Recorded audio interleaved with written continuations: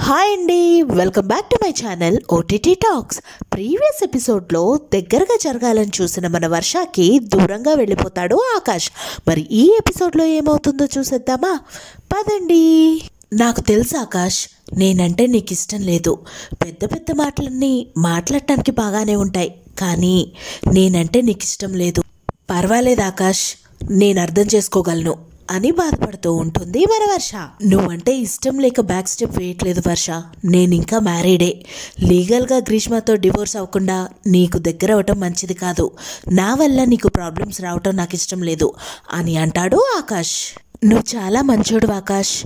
కానీ సడన్గా అలా బిహేవ్ చేసేసరికి తట్టుకోలేకపోయాను.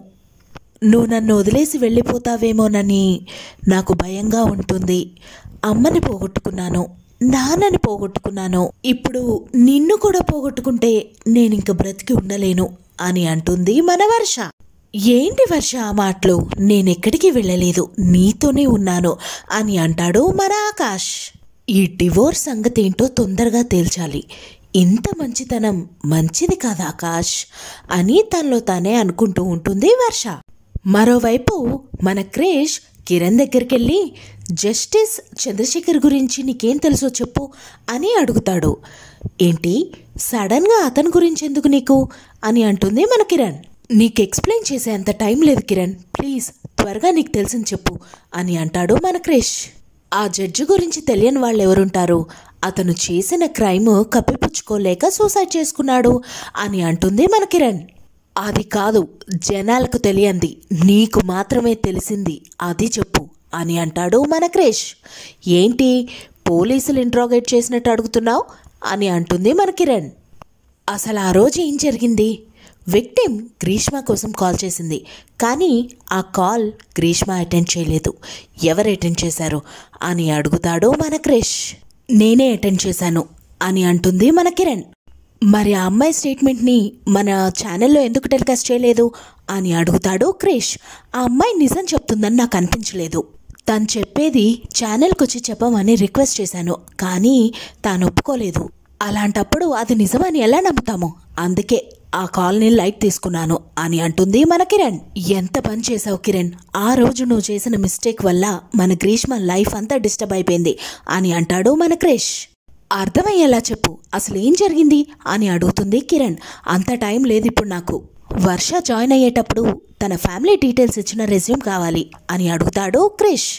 రెజ్యూమ్ చూసి బయటికి వచ్చిన మన క్రిష్ని ఏవైనా తెలిసిందా? అని అడుగుతుంది మన గ్రీష్మ. ఆ జడ్జు మన వర్ష ఫాదర్ అని అంటాడు క్రిష్. చంద్రశేఖర్ గారు? వర్ష ఫాదరా? ఆర్ యూ ష్యూర్ అని అడుగుతుంది మన గ్రీష్మ. నాకిప్పుడు అర్థమవుతుంది గ్రీష్మ. వర్ష తన తండ్రి చావుకి పగ తీర్చుకుంటుంది. మోటివ్ చాలా క్లియర్గా ఉంది.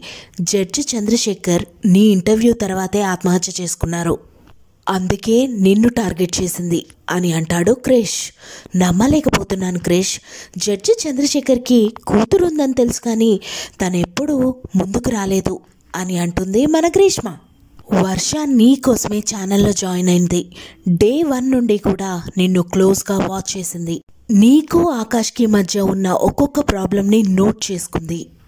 కరెక్ట్ టైంకి మంజుని ఎంటర్ చేసింది అని అంటాడు క్రిష్. కౌన్సిలింగ్ పేరుతో మమ్మల్ని పిలిపించి మా ఇద్దరిని విడగొట్టడానికి ట్రై చేసింది. ఇద్దరి మనసుల్ని విరిచేసి దగ్గర అవ్వాల్సిన వాళ్ళని వేరు చేసింది. అక్కడితో ఆగకుండా నా కెరియర్ మీద కూడా దెబ్బ కొట్టింది అనుకుంటూ షాక్ అయి చూస్తుంది మన గ్రీష్మ. వర్ష ఈజ్ వెరీ డేంజరస్ చాలా జాగ్రత్తగా ప్లాన్ చేసింది. తన మీద నాకు ఎప్పటి నుంచో డౌట్ ఉండింది. నీకు చాలాసార్లు చెప్పాలని ట్రై చేశాను కానీ ఒక్క ఎవిడెన్స్ కూడా దొరకకుండా మేనేజ్ చేసింది. అని అంటాడు క్రిష్. I'm sorry Krish. నాకంటే ఎక్కువగా తన్నే నమ్మాను. అమాయకంగా ఉన్న తన మనసులో ఇంత కుట్ర దాగుంది అనుకోలేదు అని అంటుంది మన గ్రీష్మ. తర్వాత ఏం జరిగింది అనేది నెక్స్ట్ ఎపిసోడ్లో చూసుకుందాం. ఇలాంటి ఎపిసోడ్స్ మీకు ఎన్నో కావాలి అనుకుంటే నా ఛానల్ని సబ్స్క్రైబ్ చేసుకోండి. Thank you so much for watching. Bye.